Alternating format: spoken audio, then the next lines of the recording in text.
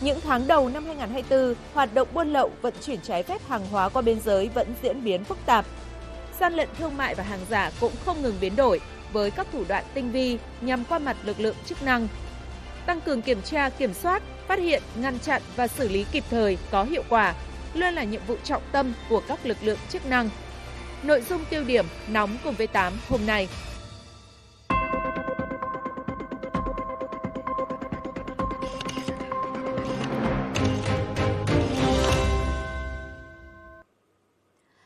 vị, thời gian qua, tình hình buôn lậu, gian lận thương mại có nhiều diễn biến phức tạp. Chính vì vậy, lực lượng chức năng luôn xác định đấu tranh chống buôn lậu, hàng giả, gian lận thương mại là một trong những nhiệm vụ xuyên suốt trọng tâm, ngăn chặn từ sớm, từ xa, không để gia tăng các trường hợp vi phạm. Chống buôn lậu không lơ là, chủ quan, đó cũng là tiêu điểm của chương trình ngày hôm nay. Mời quý vị theo dõi vấn đề này cùng với biên tập viên Thanh Huyền. Cảm ơn chị Thanh Lam. Vâng thưa quý vị, có thể thấy tình hình buôn lậu gian lận thương mại thời gian qua diễn ra trên nhiều tuyến, nhiều địa bàn, từ khu vực cửa khẩu, biên giới đường bộ đến đường biển và đường hàng không. Mặt hàng trọng điểm mà các đối tượng buôn lậu hướng tới chủ yếu là hàng tiêu dùng thiết yếu như xăng dầu, dược phẩm, mỹ phẩm, thực phẩm chức năng, vật tư y tế, điện tử, điện thoại di động, vàng, ngoại tệ, rượu, bia, sữa, đường cát, thuốc lá, bánh kẹo và các mặt hàng cấm như ma túy, vũ khí, pháo nổ, động vật hoang dã. Riêng tại khu vực Bắc Trung Bộ, nạn buôn lậu diễn biến phức tạp tại các tỉnh như Quảng Bình, Quảng Trị. Tại cửa khẩu quốc tế Lao Bảo, trong 2 tháng đầu năm, lực lượng hải quan và biên phòng đã bắt giữ 10 vụ buôn lậu, tăng vật thu giữ là hơn 180 kg pháo, 24 tấn đường và ma túy. Thời gian này, người, hàng hóa và phương tiện qua lại cửa khẩu tăng hơn 30% so với cùng kỳ 2023. Chúng tôi cũng tăng cường tập trung chỉ đạo các tổ đội tăng cường công tác thu thập thông tin cũng như là tăng cường công tác kiểm tra kiểm soát đối với lại các cái hàng hóa phương tiện qua lại cửa khẩu kết hợp với lại à, các cái thiết bị máy móc thiết bị à, chuyên dùng phục vụ cho công tác à,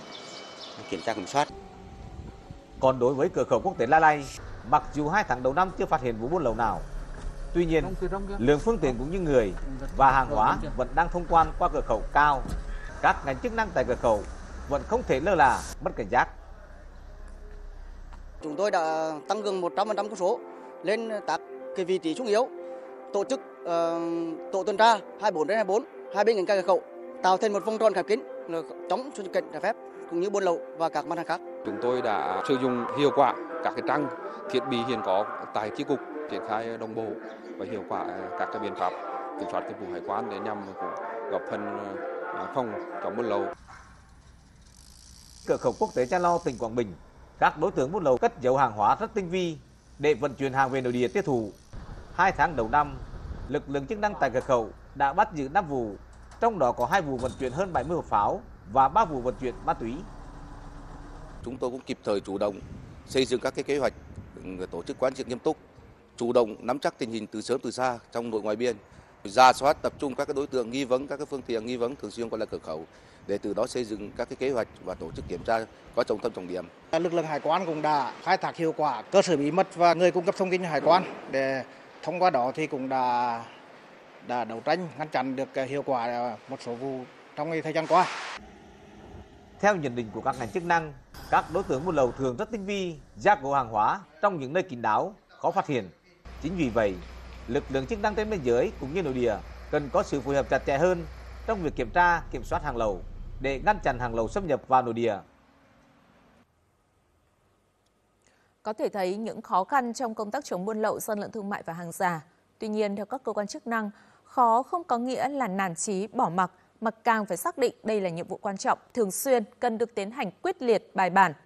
Thực tế cho thấy khi có sự phối hợp trao đổi thông tin giữa các lực lượng như quản lý thị trường, hải quan, bộ đội biên phòng, công an, cảnh sát biển, công tác phòng chống buôn lậu, hàng giả phát huy hiệu quả rất tích cực.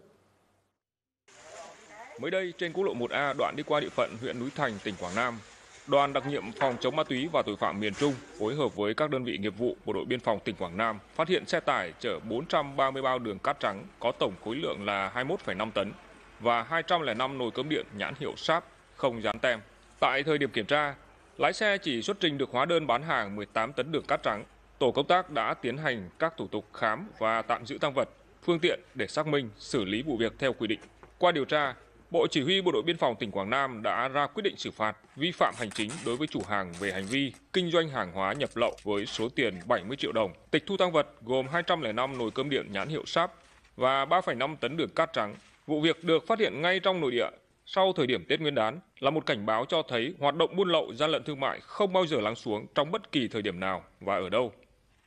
Về buôn lậu gian lận thương mại thì hết sức tương vi và phức tạp.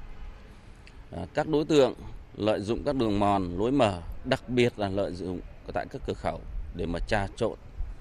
để mà còn gian lận thương mại à, vào còn như tỉnh Quảng Nam. Không những là ngay trong dịp Tết mà nó xảy ra là bất cứ cái thời gian nào.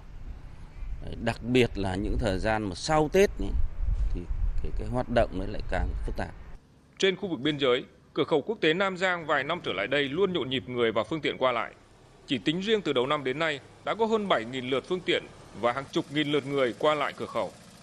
Công tác phối hợp phòng chống các loại tội phạm luôn được xem là nhiệm vụ thường trực của lực lượng chức năng hai nước Việt Nam và Lào. À, riêng trạm à, công an cửa khẩu Đắc Tọ à, đã làm tốt nhiệm vụ kiểm tra kiểm soát người phương tiện qua lại cửa khẩu, làm tốt chức năng nhiệm vụ của công an xuất nhập cảnh. Trong đó có à, xây dựng tốt cái mối quan hệ đoàn kết giữa hai nước là Việt Nam nói chung và hai à, lực lượng công an và bộ đội biên phòng ừ, Việt Nam nói riêng. À, đặc biệt là công tác phòng chống buôn lậu và gian lận thương mại thì đơn vị cũng đã làm tốt công tác phối hợp à, trong cái thời gian à, cận Tết cũng như trong Tết và ngoài Tết ờ, Nguyên đán của Việt Nam thì hai đơn vị đã tổ chức phối hợp tốt với nhau và kiểm soát tốt người phương tiện hàng hóa qua lại cửa khẩu thì ừ, trong công tác kiểm tra giám sát thì chưa phát hiện ờ, vấn đề gì nổi lên. Chúng tôi tiếp tục chỉ đạo các đơn vị và xác định đây là nhiệm vụ trọng tâm thường xuyên lâu dài. Ngoài cái kiểm tra kiểm soát tại cái cửa khẩu, cảng biển còn phải tuần tra các đường mòn lối mở để đấu tranh có hiệu quả hoạt động buôn lậu gian lận thương mại ở trên địa bàn của Bộ đội biên phòng phụ trách. Ghi nhận từ đầu năm đến nay tại các cửa khẩu ở khu vực miền Trung và Tây Nguyên, hoạt động trao đổi xuất nhập khẩu và xuất nhập cảnh diễn ra nhộn nhịp, sôi động hơn hẳn so với cùng kỳ năm ngoái. Trong bối cảnh đó, ngoài việc đảm bảo giải quyết thủ tục thông quan cho người, hàng hóa một cách thuận lợi và nhanh chóng, thì công tác phòng chống buôn lậu và gian lận thương mại cũng ngày càng nặng nề hơn. Điều này đòi hỏi sự phối hợp đồng bộ của nhiều cơ quan chức năng cũng như chính quyền địa phương và đặc biệt là của mỗi người dân.